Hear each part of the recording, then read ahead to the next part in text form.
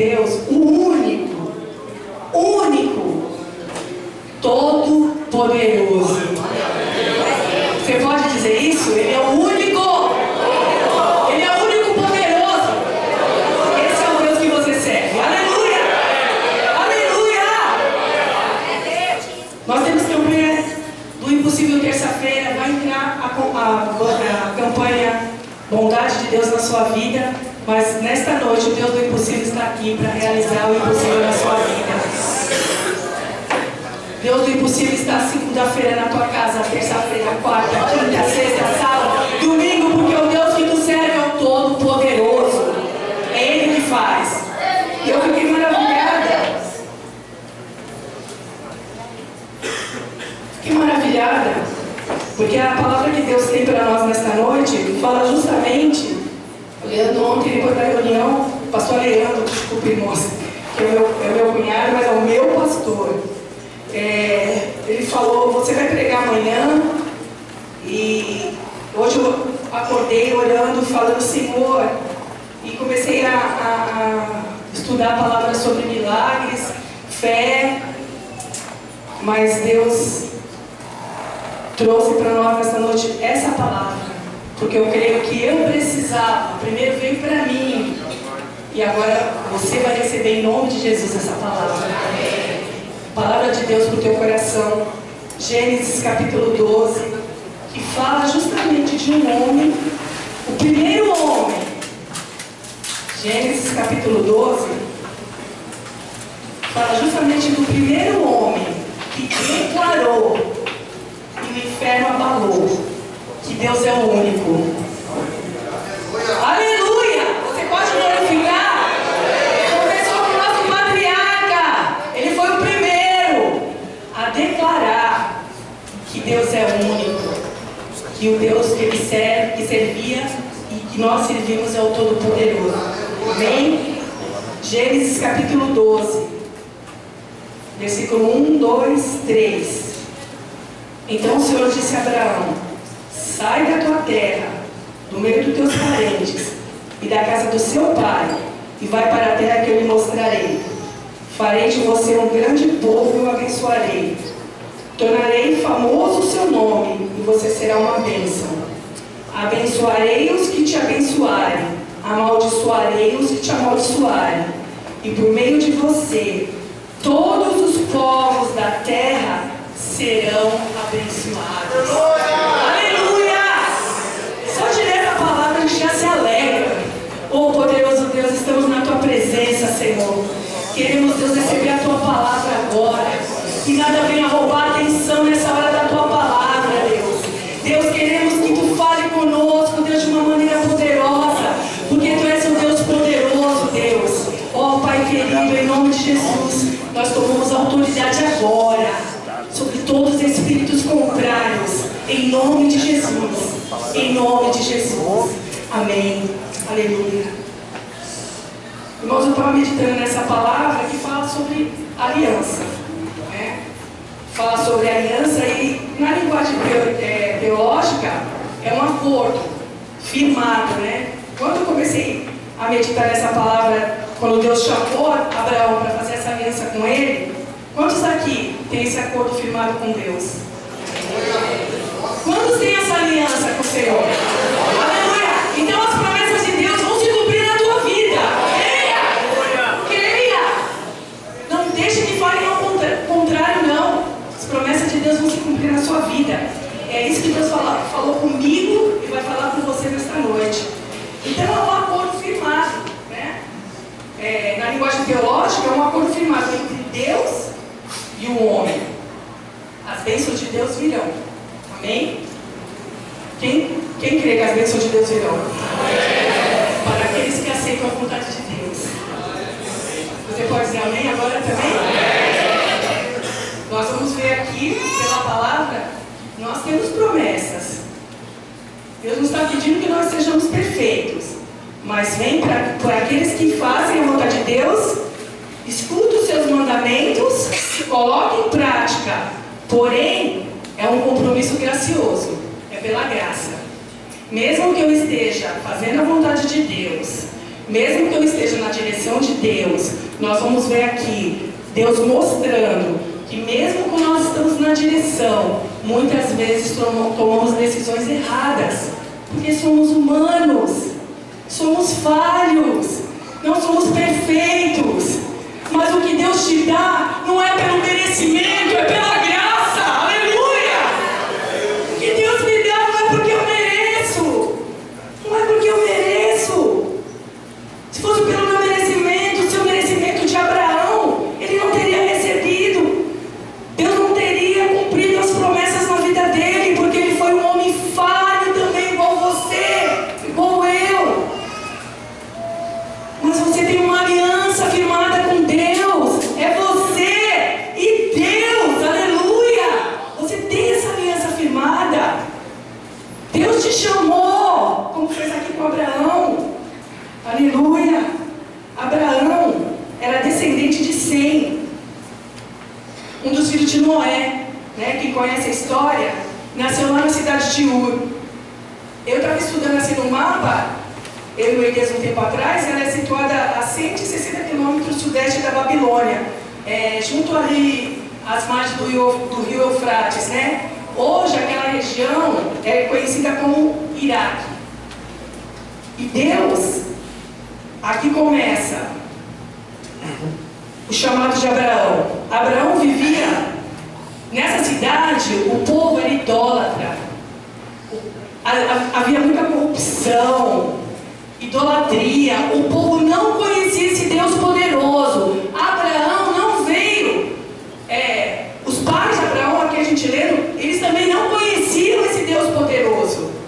Mas Deus olhou no meio daquele povo idólatra, corrompido, daquela cidade idólatra. Ele olhou, viu Abraão, ele chamou, ele escolheu, ele falou: Abraão, vem, Abraão, aleluia. Rodeou ele de promessas.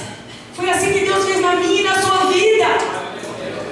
Deus te tirou, Deus te tirou do mundo, daquele meio pecaminoso, onde você estava ali no meio de tantas coisas ruins, entre milhares e milhares de pessoas. Deus te viu, te escolheu, te rodeou de promessas, mesmo falho, mesmo dos teus defeitos. Você pode levantar sua mão e dizer: Aleluia, as promessas de Deus se cumprirão na minha vida. Aleluia, porque eu sigo um Deus poderoso. Não é o meu merecimento, mas é o meu Deus que é poderoso. Aleluia. Então o Senhor disse a Abraão, primeira coisa, versículo 1, versículo 1, sai da tua terra. Deus tinha outra terra para ele. Sai da tua terra. Deus tinha uma terra fértil, promissora para Abraão. Deus começou ali a fazer a promessa dele, o chamado de Abraão. Segundo, segunda coisa que Deus pediu, ó, Deus está pedindo para Abraão, ó, sai da tua terra. Para nós parece muito fácil. Mas eu creio que foi difícil. Muitas vezes é difícil fazer a vontade de Deus. Você você está ali na tua zona de conforto, junto com, com, com a tua família. Deus fala, sai, larga tudo. Sai. Deus prometeu uma terra maravilhosa. Deus prometeu abençoar, prosperar. Mas até então ele nem sabia onde era essa terra. Sai da tua terra. Depois ele vai falar para ele que a recompensa da obediência. Porque as bênçãos só vêm quando nós obedecemos. Escutamos a voz de Deus e obedecemos. Não com perfeição, mesmo com as nossas imperfeições, mas nós estamos falando todo dia: Deus, não é a minha vontade, mas é a tua vontade, Senhor. Amém? Sai do meio da tua parentela. Isso não significava deixar Sarai, né? Que era Sarai antes, que significava princesa, depois do encontro de, de Abraão com Deus, nessa promessa, nós vemos Deus passar o nome de Sarai para Sara, mãe de multidões. Aí não estava deixar Sara, que ela já era Sara, né? Depois do chamado. Deus não estava falando, deixa Sara. Deus estava falando para ele, sai do meio da tua parentela, mas a tua esposa, que está do teu lado. Aleluia! Quando eu estudava essa palavra, falava com Deus, Deus ministrava no meu coração. O chamado de Deus para a tua vida não é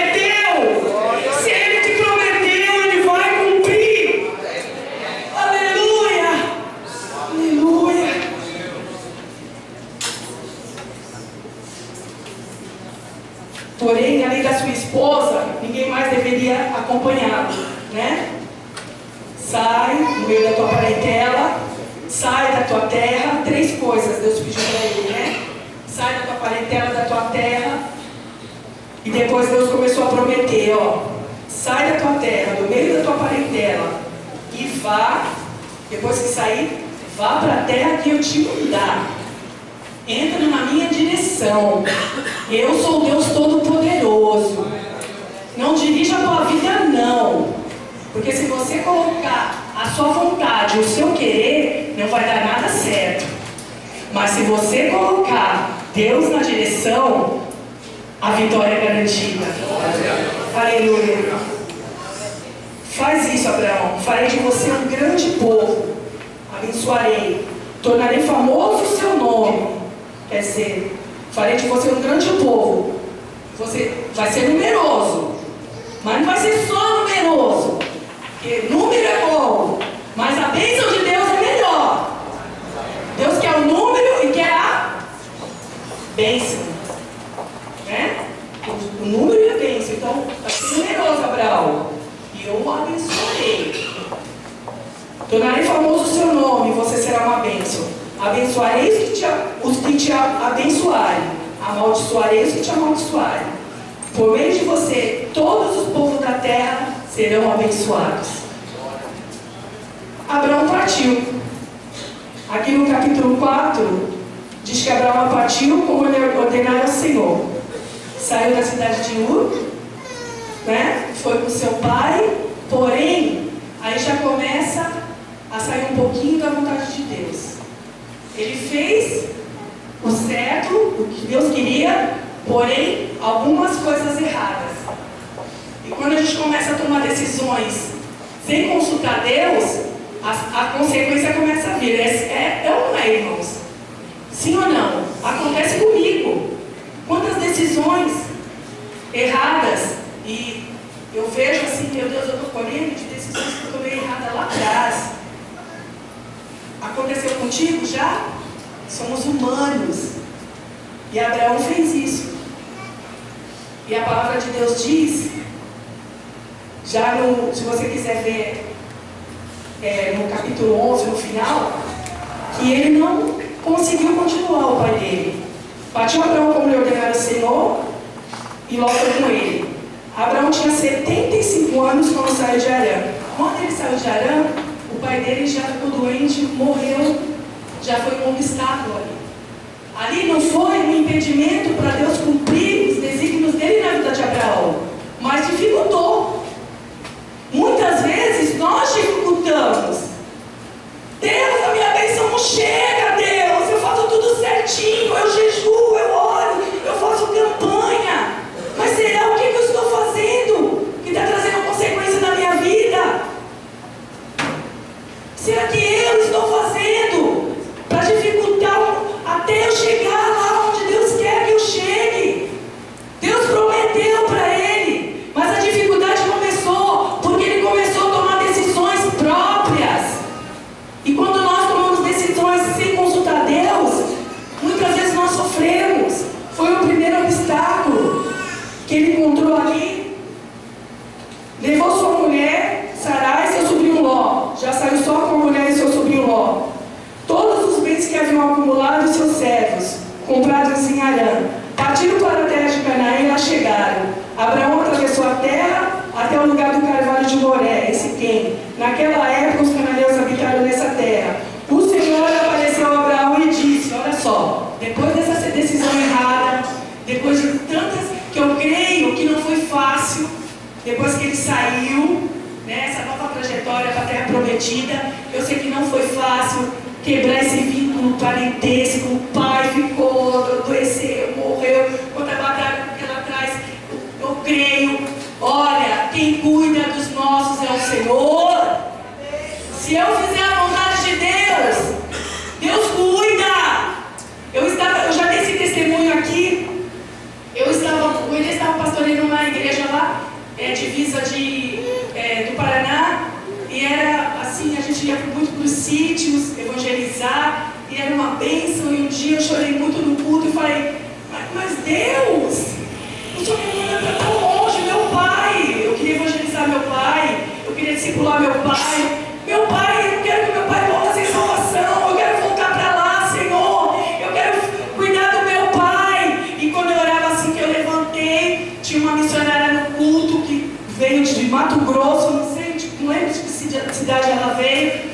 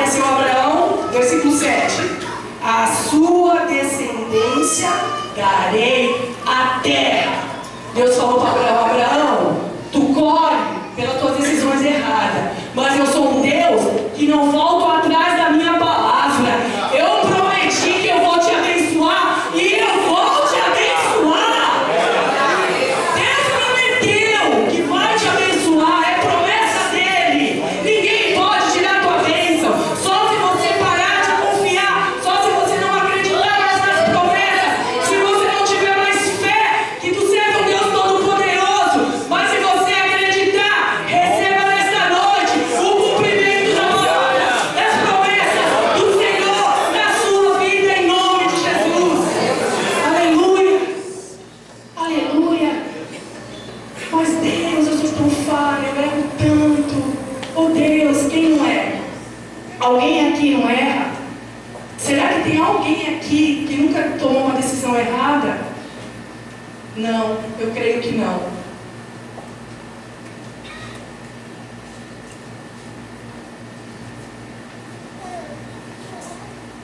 A gente vê, ele continua na trajetória dele. Ele construiu um altar, invocou o nome do Senhor. Depois que ele chegou ali, né? Na terra.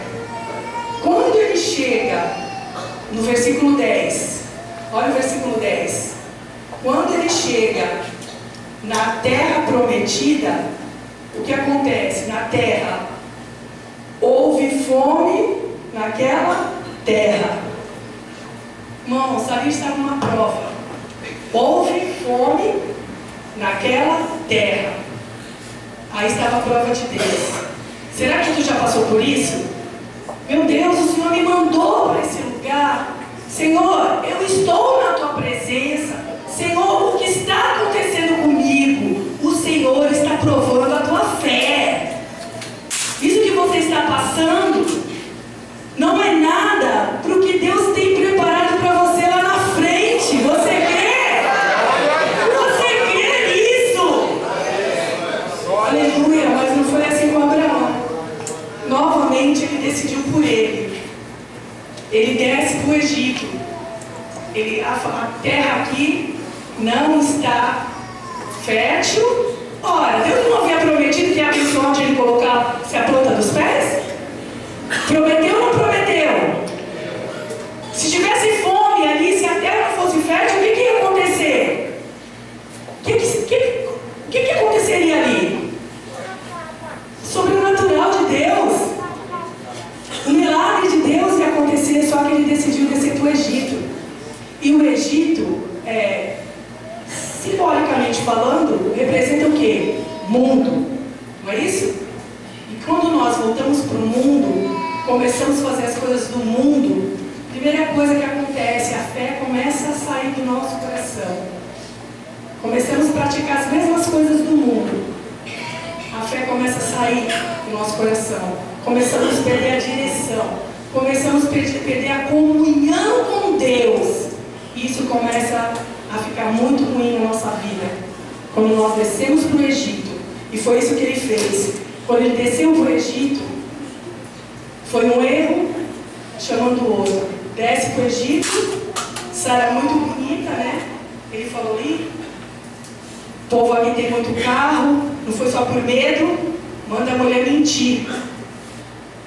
Fala para a mulher mentir, olha, mente que tu é minha irmã, hein? Além de pecar, ainda fez a mulher pecar também, né? Ó, fala que tu é minha irmã, porque tu é muito bonita, e aqui tem muitos carros, e às vezes as pessoas falam assim, mas Abraão ficou com medo de morrer. Mas nós vemos aqui que Abraão também, no versículo 14, quando Abraão chegou ao Egito, viu o egípcio que Sara, Sara, era uma mulher muito bonita. Vendo-a, os homens da corte do faraó a elogiaram diante do faraó, e ela foi levada ao seu palácio. Ele tratou bem Abraão por causa dela, e Abraão recebeu ovelhas, bois, jumentos, jumentas, quer dizer, foi bom para ele, né? Não foi só medo. Ali ele tinha o quê? Interesse nas coisas materiais, em receber algo material. E ali entrou o pecado da mentira, da falsidade, né? E aí, mais uma vez, ele sai da direção de Deus. recebeu ovelhas, bois, jumentos, jumentas. No, no versículo 17. Mas o Senhor puniu a Faraó e sua corte com graves doenças, por causa de Sarai, mulher de Abraão. Por isso, Faraó mandou chamar Abraão e disse: O que você fez comigo? Por que não me falou que era sua mulher? Deus feriu, Deus mostrou, Deus revelou. Irmãos, nós não podemos esconder nada do Senhor. Nós podemos esconder do homem. O homem eu posso esconder, eu posso me mostrar, né? É, o homem pode me julgar pela aparência. Muitas vezes nós somos julgados pela aparência. O homem não vê o meu coração. O homem não vê o teu coração. Mas o Deus, o Todo-Poderoso, o Deus que está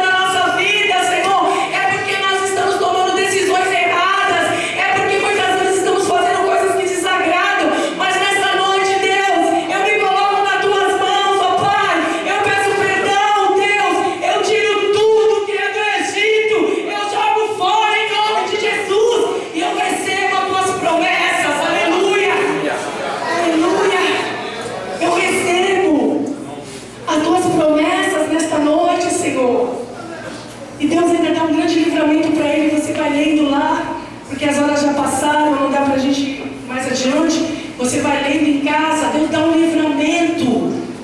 Ele ia morrer. Aquilo lá era para ele morrer.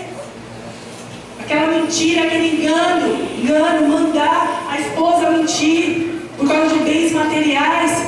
Poderia ter sido morto os dois, a esposa e ele. Mas sabe por que eles não morreram? Porque Deus tinha a promessa na vida dele. Aleluia!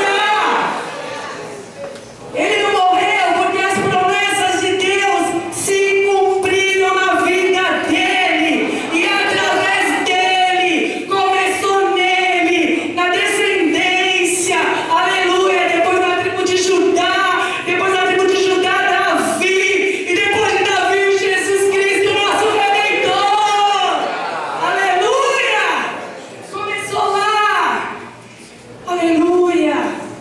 Abraão, um homem, sua uma tribo de Judá, Davi, e de Davi, Deus levou, através da descendência de Davi, veio Jesus, o nosso Salvador. E Ele está aqui nesta noite atra- através do Espírito Santo de Deus. Você crê nisso? Vamos levantar, igreja. Vai para a terra que eu te prometi, que eu te mostrei. Toma posse das promessas de Deus para a tua vida. Aleluia. Toma posse. Toma posse. Levanta tuas mãos. Eu não vou chamar ninguém para vir aqui na frente. Mas eu gostaria que a esposa e o esposo se abraçassem agora. Você está com seu esposo? Sua esposa? Abrace ele nessa hora. E fale assim, ó, você não vai sozinho não, eu vou contigo. Fala. Não vai sozinha, não. Não vai sozinha, não. Nessa caminhada, nessa caminhada,